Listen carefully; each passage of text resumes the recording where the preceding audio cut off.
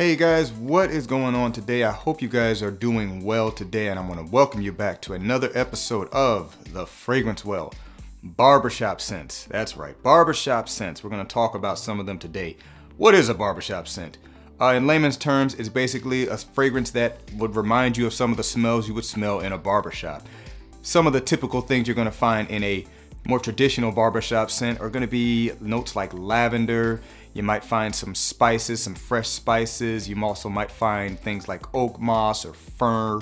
Uh, you might also find things like um, woody notes. So basically, fresh to woody to spicy, kind of aromatic sometimes is to give you the traditional barbershop scent. These are things probably your, your father or your grandfather wore, but there are also modern day style scents that still kind of capture that barbershop essence. We're gonna talk about some of them right now.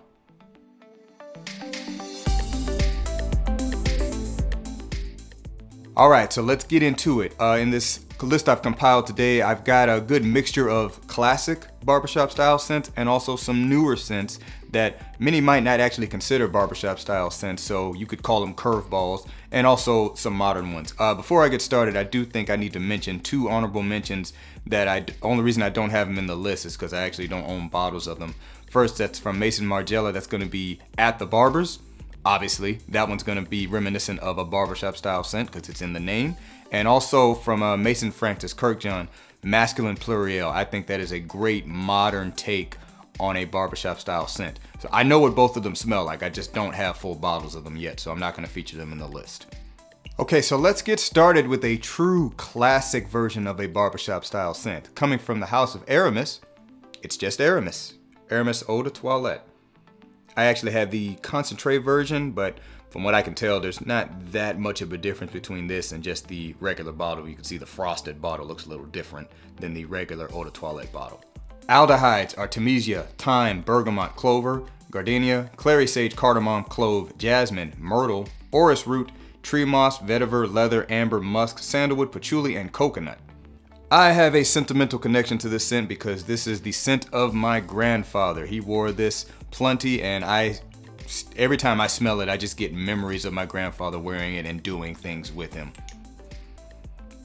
The scent's been around for a long time and I think it should be because this is just very reminiscent of what a classic masculine barbershop style scent is. This one's more aldehydic, so more of that kind of fresh, clean uh, feeling. Aldehydes, something that not everybody really jives with, but definitely more of a classic take on a barbershop style scent. I would have loved to smell this in its heyday, but uh, I'm glad it's still around for us to experience these days.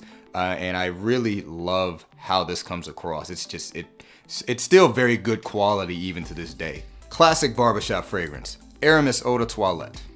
Next up, let's do a more modern barbershop fragrance, but still keeps that mostly traditional style of barbershop fragrance in its DNA. Coming from the house of Jimmy Choo, this is Jimmy Choo, Man Intense. Jimmy Choo Man Intense. This is actually the first fragrance I bought when I started collecting. This one has lavender, honeydew melon, mandarin orange, geranium black pepper, davana, cistus absolute patchouli, and tonka bean. So like I mentioned, lavender being a note that's very present in this. It also features a little bit of spice. And what you'll notice with a lot of the more modern takes on these kind of barbershop style scents is they're gonna add a little bit of sweetness to them. This one is not overly sweet, but it has a very nice underlying sweetness to it along with the fresh spice and the lavender. You know, not the most popular fragrance, but it is a very easy to wear one. Great for the barbershop vibe, and honestly, it's not that expensive either. I accidentally played full retail for this because I didn't know about discounters yet, but I'm still glad I got it, you know, and I'm gonna keep it around because I do think it is a nice modern take on a barbershop style scent. Check it out if you haven't, Jimmy Choo Man Intense. All right, let's take it back to another classic one. Let's take it to the probably the most famous, most well-known barbershop scent from the 80s. From the house of Guy Laroche, Drakkar Noir. Yep, you've definitely heard about this one. Uh, you hear about it a lot because it's, you know, just the, fragrance of the 80s, if you will, but uh, it's also a barbershop scent, so that's why it's gonna make this list. Drakkar Noir has lavender, lemon, lemon vervain, artemisia, basil, bergamot, rosemary, coriander, juniper, carnation, jasmine, cinnamon, oak moss, cedarwood, fir, leather, patchouli, sandalwood, vetiver, and amber. The quintessential barbershop scent because it features all of those notes I mentioned in the beginning of the video that you will typically find in a lot of barbershop scents. The lavender, the fir, the oak moss, and some fresh spices. Another fragrance that has obviously stood the test of time coming out in the early 80s, still smells really great to this day in my opinion. Particularly if you were someone who grew up with barbershop style scents, you're gonna like one like this. This one might be a little bit harder for newer, younger guys, but you know, hey, that's okay. I still think it's one you should check out so you can at least be familiar with that style of fragrance. I do think Drakkar Noir is one of the best uh, offerings in terms of learning what a barbershop style scent is and what it can be. Drakkar Noir from Guy Laroche. Amazing classic barbershop style scent. Next up, I got one here from the House of Burberry. Probably the most popular Burberry fragrance in its history. They're still trying to recapture some of that magic they got with this one. This is Burberry Touch. This was probably, make sure you guys can see it okay. This is probably the fragrance of the turn of the century in terms of being an affordable, great option that just worked for everyone. This features violet leaf, mandarin orange, davana, nutmeg, white pepper, Virginia cedar, tonka bean, white musk, and vetiver. What's interesting about this one is it doesn't feature those things like lavender or the oak moss, so it is a modern, different take on a barbershop style scent, but it just really works for that style of fragrance. This was one that my dad wore a lot and still wears to this day, and when I would smell it, it still does give me barbershop vibes in a different way. It has kind of a powdery cleanliness to it. Uh, the fresh spice is very nice in this one. It's also a very interesting and unique scent. I really haven't smelled anything else that kind of comes close to this. and smell it again. Yeah, I still, I just had to have this in my collection for sentimental reasons alone, and also I just think it was a home run for the House of Burberry. Burberry Touch. Can get it for very cheap. Check it out if you haven't. Okay, let's take it back to another classic style barbershop scent, another classic, heavily masculine, put hair on your chest kind of scent. From the House of Azzaro, Azzaro Pour Homme. This is a tester bottle, so I do not have a cap. I actually had never smelled this one before I got it, so this was a blind buy. And when I got it in, I was like, oh yeah, that is a hairy chested man scent. This one has lavender, basil, aniseed, clary sage, bergamot, caraway, lemon, iris, cedarwood, sandalwood, cardamom, juniper berry, vetiver, patchouli, musk, oak moss, amber, leather, and tonka bean. So again, we introduced the lavender in the top. But this one is very, very spicy. Uh, definitely a more spicy take on that classic barbershop style scent.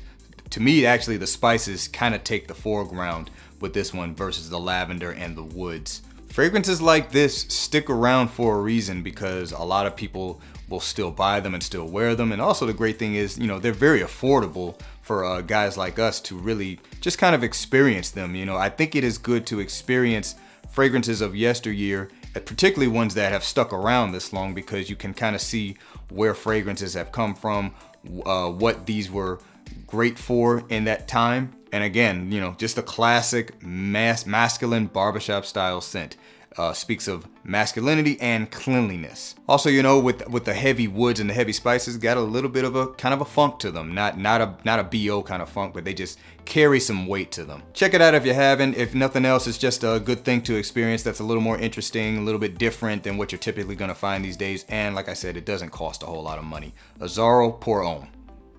Okay, and let's take it back to a modern take on a barbershop style scent coming from the house of Tom Ford. This is Beau de Jour. Tom Ford Beau de Jour, a modern take on a classic masculine barbershop scent. This one features lavender, Cape snowbush, geranium, oak moss, basil, patchouli, and amber.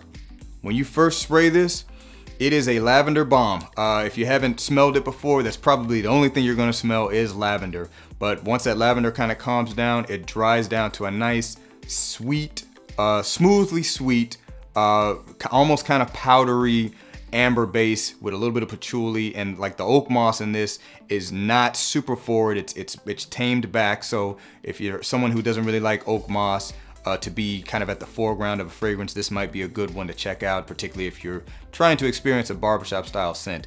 The main thing that kind of gives this the modern take on a barbershop style scent is that little bit of sweetness on the dry down. But again, very lavender forward and just a nice mixture of amber and patchouli in the dry down with a little bit of powderiness, just a touch. uh, great compliment getter. This one lasts a long time. So, which is also indicative of a lot of barbershop style scents of yesteryears, is they had great lasting power. Tom Ford, hats off to you on this one. Great modern rendition of a barbershop style scent. Tom Ford Beau de Jour. Check it out if you haven't. Okay, let's get into the curveball barbershop fragrances. Many of these might not necessarily be considered a barbershop fragrance by some or might not have thought of it as such. First one's gonna be coming from the house of Christian Dior. This is Dior Homme 2020. Dior Homme 2020 release. The reason I put this on here is because in many ways it reminds me of a sweeter version of an Aramis and also because this scent is so versatile, it can obviously work in the barbershop and it also kind of has that clean woody clean woodiness to it which is indicative of a barbershop style scent. This one has pink pepper, bergamot, elemi resin, atlas cedar, patchouli, Haitian vetiver, and musk. Again, for me, that rem reminiscence to what Aramis smells like, but a sweeter take on it and also just kind of a less heavy take on it is why I chose to put this one in this list. I've actually never worn it to a barbershop, but as I was kind of smelling the fragrances uh, I was putting together for this list, uh, this one has similarities to those scents, so I had to put it in here, and I think it also being a very versatile fragrance, it just makes sense that it can also be worn as a barbershop fragrance. And like I said, the woodiness of it is what puts it into that category. Dior Homme 2020. Great modern, slightly different take on a barbershop scent.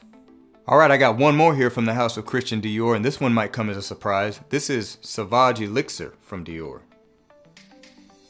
Very popular release from 2020. And what really ties this one into that barbershop DNA is the spices and the lavender.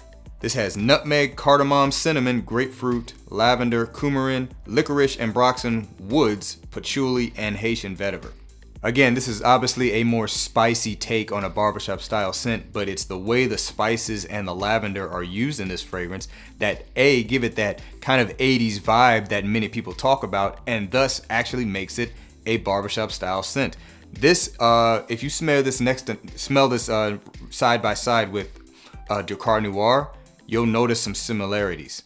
It's not necessarily what I would call inspired by Drakkar Noir, maybe it is. It's certainly not a clone of it, but it is done in that style of that classic, slightly sweet and very spice heavy barbershop style scent that was very popular at that time. Obviously well known for being an absolute monster with projection and longevity. Uh, very expensive, unfortunately. You do see this popping up on discounters a little bit more, but it's still an expensive buy. But this fragrance is so strong, you don't need so much of it. I would just go for the smaller bottle unless you just really want the bigger bottle. Absolute great release from the house of Christian Dior and a modern take on a barbershop style scent, Sauvage Elixir. And we've made it to the last fragrance on this list, also a curveball fragrance, one that people probably don't think of as a barbershop style scent, coming from the house of Mont Blanc, Mont Blanc Legend. This is the Eau de Parfum in particular. I think uh, any of the Legend concentrations would work for this list because they all are very reminiscent of Abercrombie & Fitch's Fierce. Bergamot, violet leaf, jasmine, woody notes, oak moss, magnolia, and leather. So like I said, this one is a little bit of a curveball because you don't really think of this one as a barbershop style scent. But again, if you smell it side by side with a lot of the fragrances I featured in today's list, you're gonna notice some similarities. This one doesn't necessarily have lavender, but it does have a fresh, clean feel to it, along with a little bit of sweetness. That Abercrombie & Fitch Fierce DNA may sound like it's a little played out, but it still sells today, and then Mont Blanc Legend basically copied it, and it sells very well for them too. Uh, very versatile fragrance that does garner compliments and passes as a barbershop style scent. Mont Blanc Legend, I'd probably go for this one since it is cheaper than Abercrombie & Fitch Fierce, and I think I've heard people say that the newer formulations of Fierce just don't really hit the same, so you might as well just go for the cheaper version of it. Mont Blanc Legend, definitely a modern take on a barbershop style fragrance.